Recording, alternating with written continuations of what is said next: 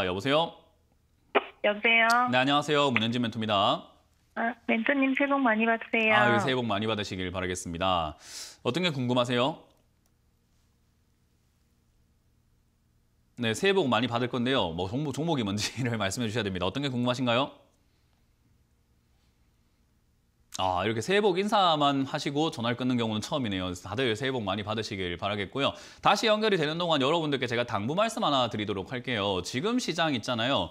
여러분들이 생각하시는 것보다 저는 별로 좋게, 좋다고 생각하지는 않습니다. 그걸 어떻게 알 수 있느냐라고 하면요. 지수가 조금 올라온다고 하면 어, 지수가 올라오니까 좋은 거 아니야? 라고 생각하시는 분도 있는데요. 그때 올라오고 있는 종목 구성을 한번 보세요. 요즘에는 품절주 아니면 테마주들이 조금 일시적으로 급등하는 경우들이 좀 많죠. 그 말은 결국 지수 가 올라오는 것처럼 해서 좀 눈속임이죠. 좋아 보이게 만든 다음에 테마주들 그리고 품절주들 급등시켜서 우리 개인 투자자들 자꾸 유혹하는 시장이라고 생각합니다. 그때 이럴 때 여러분들이 매수를 잘못하시게 된다면 사가지고 바로 물려가지고 고생하는 일들이 정말 많아질 겁니다. 그래서 혹여나 내가 들고 있는 종목 중에 하나가 급등이 나온다면 바로 매도하시면 좋을 것 같고 만약에 새로 사시려고 생각을 하신다면 절대 사지 마라 라는 이야기를 드려보고 싶습니다. 자 그럼 전화 연결 다시 한번 해보도록 하겠습니다. 여보세요? 멘토님 죄송해요. 아 아니요 새해 복만 받으라고 전화 주신 줄 알았어요. 어떤 게 아니요, 궁금하세요? 세종 메디칼이고요. 세종 메디칼요. 3,400원 20%. 3,400원에 20%요. 네. 음, 그렇군요. 계속 이 흘러내려. 아, 뭐라고요? 계속 흘러내려가지고. 예. 어, 뭐 별로 좋은 기업은 아니잖아요. 그죠? 네, 호재는 많은 것 같은데. 호재 많은 거랑 상관없어요. 어, 네. 주식 시장에서 가장 중요한 건 호재가 많고 정리하는 아무 상관이 없어요. 이 기업이 좋냐 안 좋냐는 상관이 없어요. 자, 따라해 보세요. 해 먹었냐 안 해 먹었냐? 따라해 보세요. 해 먹었냐 안 해 먹었냐? 해 먹었냐, 안 해 먹었냐. 예. 해 먹었다라는 것은 결국 누군가가 사 가지고 비싸게 한 팔아 먹었다라는 걸 이야기하는 거거든요. 그러니까 잔치가 열렸는가 열리지 않았는가인데 이건 열리고 난 다음에 뒷정리하고 있는데 들어갔으니까 어때요? 잔치가 다음 거 열리려면 바로 열립니까? 또 준비를 해야 될까요?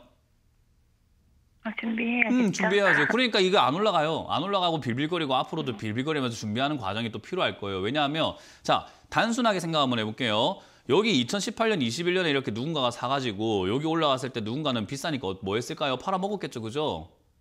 네. 팔아먹을 때 좋다고 해야 될까요? 안 좋다고 해야 될까요? 아, 좋다고 해야겠죠. 좋다고 해야 될 겁니다. 그래서 시청자님이 지금 네이버든 뭐, 뭐, 뭐 어디든 검색을 해보면 좋다는 이야기 나올까요? 안 좋다는 이야기 나올까요? 좋다는 이야기밖에 못 찾아요. 왜 좋다고 팔아먹었으니까. 음, 이해가 되세요? 그래서 네. 그렇게 사신 분들이 많기 때문에 제가 나는 당했다라고 생각하라고 이야기를 하는 거고요. 그렇게 팔아먹었다는 말은 여기서 주식을 사서 들고 있는 사람들이 또 많아졌다는 거 아니겠습니까? 그죠? 네. 그러면 그렇게 사서 들고 있는 사람들은 주가를 끌어올릴 수 있는 힘이 있는 사람들일까요? 아니면 그냥 좋다고 하니까 사본 개인 투자자들일까요? 좋다고 하니까 사오는 사람들이에요. 그냥 올라가기만을 바라고 기도하는 사람들. 올릴 수 있는 사람들이 아니라 올라가길 바라는 사람들이에요. 근데 누가 안 사주면 떨어지게 되는데 이제 누가 사줄 거예요? 다 해먹었으니까 떨어지게 되겠죠. 홍보는 끝났죠. 좋다고 하는 홍보 끝났습니다. 그러고 나니까 어때요? 빠져내려가기 시작합니다. 이렇게 내려오면 또, 아, 저렇게 좋다고 하는 기업을 이렇게 싸네 하고 사시는 분들이 있어요. 시청자님처럼요. 그런 사람들도 또 어때요? 세워라 내워라 합니다. 왜? 올릴 생각이 없거든요. 그래서 해먹은 종목은 들어가는 게 아닙니다. 해먹고 난 다음에 충분히 자리 잡았으면은 어 다시 잔치가 준비가 되나 보다라고 생각할 수는 있지만 이건 그런 것도 아닌데 왜 들어가냐라는 거죠. 결국은 이거는 내려갈 수밖에 없는 기업이고 좋은 기업도 아닌데다가 테마가 아직까지 남아 있다 하더라도 그 테마로 인해 가지고 단기적으로 급등이 나올 수는 있어요. 일시적으로. 왜 최근에 보면은 막 이렇게 꿈틀꿈틀 거리죠. 그죠? 음, 요 정도의 움직임만 계속 나올 거라는 거예요. 그래서 크게 시세를 낸다기보다는 올라가더라도 4,000원대에서 4,500원 정도까지 시세를 내면 또 떨어지고 그리고 전체 그림으로는 계속 떨어질 가능성이 높습니다. 어디까지 빠지냐면 은 저렇게 거품 만들기 시작했던 2,000원대 또는 그 이하까지 내려갈 가능성이 좀 높다고 봅니다. 그래서 차트 모양이 이럴 거라는 거죠. 여기서 한번 퐁 튀었다가 떨어지고 퐁 튀었다가 떨어지고 퐁 튀었다가 떨어지고 하면서 저 밑으로 계속 까지는 기업이에요.